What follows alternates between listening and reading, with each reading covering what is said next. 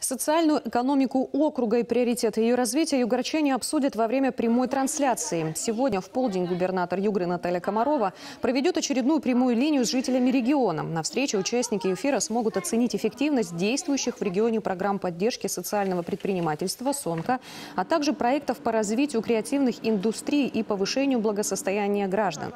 Задать вопросы и поделиться своим мнением на предложенную тему можно в комментариях на личных страницах Натальи Комаровой в соцсетях – а также можно написать в личное сообщение. Встреча будет транслироваться на персональных страницах губернатора и в официальном сообществе региона ВКонтакте.